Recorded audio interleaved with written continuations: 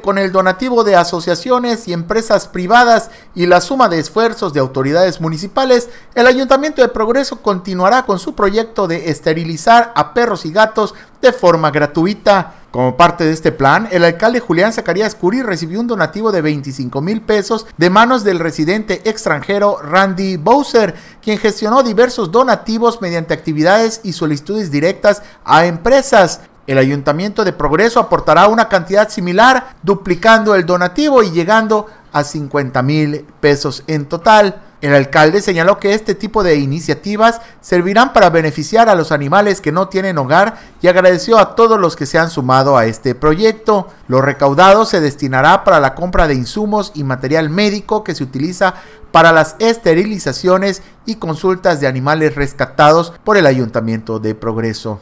Informando para ti, progresohoy.com.